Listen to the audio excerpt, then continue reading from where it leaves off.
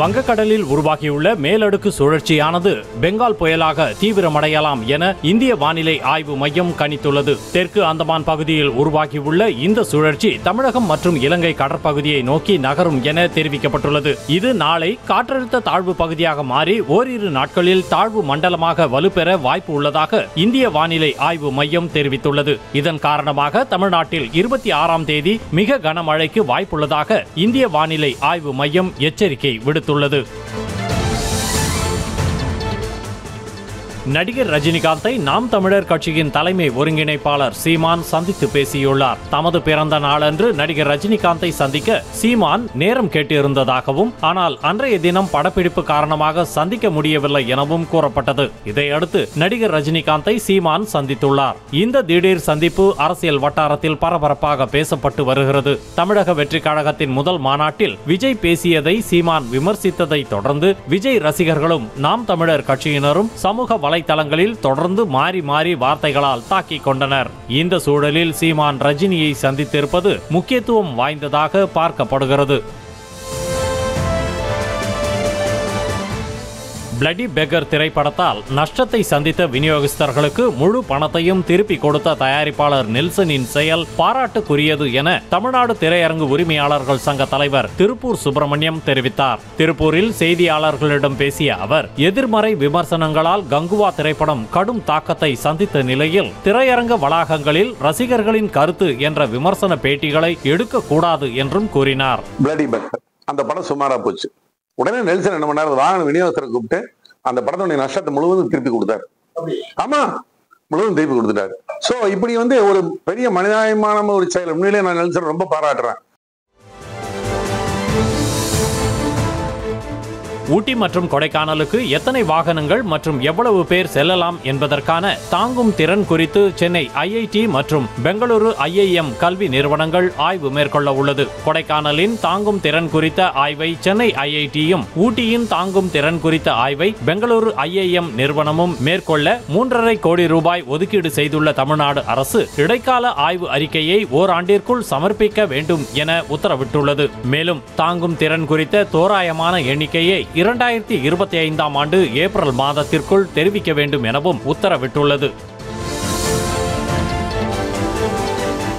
வீட்டில் வைத்து பிரசவம் பார்த்தாலோ அல்லது வாட்ஸ்அப்பில் வரும் தகவல்களை பார்த்து பிரசவம் மேற்கொண்டாலோ சட்டப்படி நடவடிக்கை எடுக்கப்படும் என சுகாதாரத்துறை எச்சரிக்கை விடுத்துள்ளது. சென்னை குன்றத்தூர் அருகே வீட்டிலேயே மனைவிக்கு பிரசவம் பார்த்த கணவர் வீட்டில் குழந்தை பெற்றவர்களின் அனுபவம் என்ற தலைப்பில் வாட்ஸ்அப் குழு அமைத்து அதில் உறுப்பினராக உள்ளதாகவும் அந்த குழுவில் வந்த தகவல்களை வைத்து வீட்டிலேயே பிரசவம் பார்த்து இறுதி கட்டத்தில் மருத்துவமனையில் சேர்த்ததாகவும் கூறப்படுகிறது. இதன் எதிரொலியாக இதுபோன்ற ஆபத்தான செயல்களில் யாரும் ஈடுபட வேண்டும் வேண்டாம் என்று சுகாதாரத்துறையினர் எச்சரிக்கை விடுத்துள்ளனர்.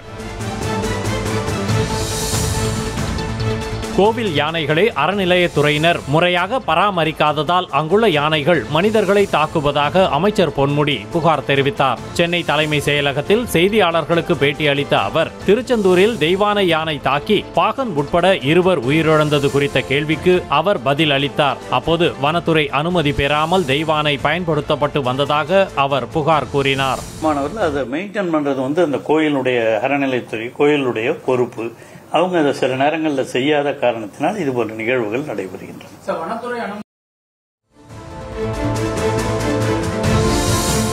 திருச்சியில் போதைக்கு அடிமையான ஆட்டோ ஓட்டுநரை கொடூரமாக கொலை செய்துவிட்டு தற்கொலை என நாடகமாடிய அவரது தாய் மனைவி உட்பட ஐந்து பேரை போலீசார் கைது செய்தனர். திருச்சி சஞ்சீவி நகரைச் சேர்ந்த ஆட்டோ ஓட்டுநரான குணா என்கிற குணசேகரன் என்பவர் மது மற்றும் கஞ்சாவுக்கு அடிமையாக இருந்ததாக கூறப்படுகிறது. இந்நிலையில் குடித்துவிட்டு வீட்டிற்கு வந்த குணசேகரன் தனது மனைவி சுலோச்சனா தாய் காமாட்சி ஆகியோரிடம் தகராறில் ஈடுபட்டு அவர்களை தாக்கியதாக தெரிகிறது. பின்னர் வீட்டிற்கு வந்த உறவினர்களான திருநங்கைகள் விக்கி என்கிற லித்தின்யா ஸ்ரீ குபேந்திரன் என்கிற நிபுயா மற்றும் விஜயகுமார் குணசேகரனுக்கு காலி சிரிஞ்சை குத்தியும் கழுத்தில் துப்பட்டாவால் நெரித்தும் கொலை செய்துவிட்டு அவரை தூக்கில் தொங்கவிட்டு தற்கொலை என நாடகமாடியுள்ளனர்.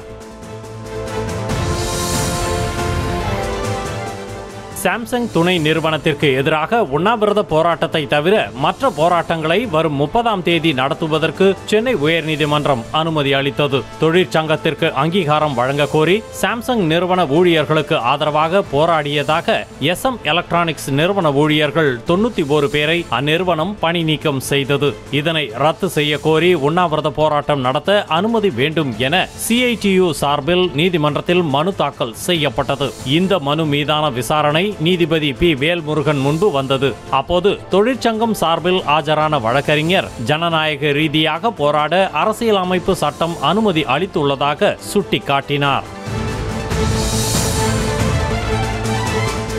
பாஜகவுடன் அதிமுக கூட்டணி அமைக்குமா என்ற கேள்விக்கு எந்த பேச்சும் பேசக்கூடாது என பொதுச் செயலாளர் எடப்பாடி பழனிசாமி தங்களுக்கு அறிவுறுத்தி இருப்பதாக அதிமுக முன்னாள் அமைச்சர் திண்டுக்கல் ஸ்ரீனிவாசன் தெரிவித்தார். திருவாரூர் மாவட்ட அதிமுக கள ஆய்வு குழு கூட்டத்தில் பங்கேற்ற பின்னர் செய்தியாளர்களை சந்தித்த அவரிடம் இரண்டாயிரத்தி இருபத்தி ஆறு தேர்தலில் அதிமுகவுடன் பாஜக கூட்டணி அமைக்கும் என திருமாவளவன் கூறியிருப்பது குறித்து கேள்வி எழுப்பப்பட்டது.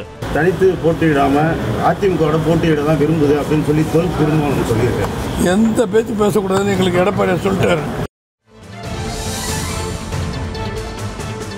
வேலூர் மாவட்டம் தாங்கல் கிராமத்தில் பதிமூன்று வயது சிறுமி மூன்று இளைஞர்களால் கூட்டு பாலியல் வன்கொடுமை செய்யப்பட்ட விவகாரத்தில் பாமக தலைவர் அன்புமணி ராமதாஸின் குற்றச்சாட்டிற்கு மாவட்ட காவல்துறை மறுப்பு தெரிவித்துள்ளது. சிறுமி வன்கொடுமை தொடர்பாக புகார் கொடுக்க சென்றவர்களை காவல்துறை அலைக்கழித்ததாக அன்புமணி ராமதாஸ் தனது எக்ஸ் பக்கத்தில் அறிக்கை வெளியிட்டிருந்தார். இதற்கு மறுப்பு தெரிவித்து மாவட்ட காவல்துறை வெளியிட்ட அறிக்கையில் சிறுமியின் உறவினர்களின் போராட்டத்திற்கு பிறகே காலதாமதமாக வழக்கு பதிவு செய்யப்பட்டதாக அன்புமணி ராமதாஸ் கூறியிருப்பது உண்மைக்கு புறம்பானவை என்றும் வழக்கில் அனைத்து சட்ட நடைமுறைகளும் முறையாக பின்பற்றப்பட்டுள்ளதாகவும் தெரிவிக்கப்பட்டுள்ளது.